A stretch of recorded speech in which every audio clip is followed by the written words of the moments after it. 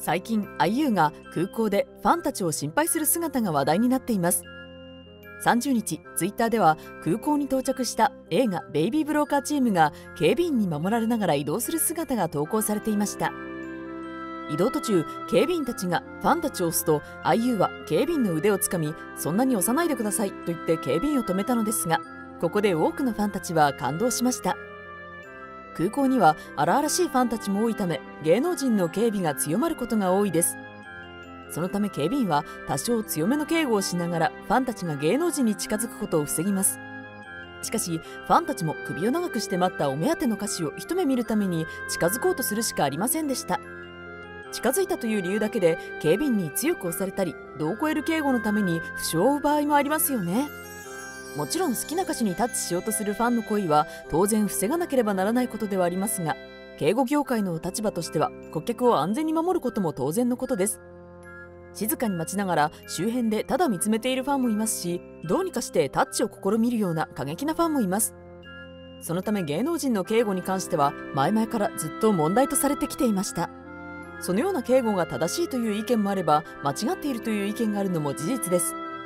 しかしこのような多くの人が集まる中で転んでしまうようなことがあれば非常に大きな事故が起きる可能性があるため格別な注意を払わなければなりません。IU は後ろから歩いてついてくるファンが警備員によって転びそうになると街頭の警備員に対してそんなに強く押さないでくださいと言ってファンも守ろうとする姿を見せました。IU は前からファンたちをとても大事にすることで知られています。海外に行ってくるたびファンたちのためにお菓子やチョコレートなどを準備することがとても多かったです。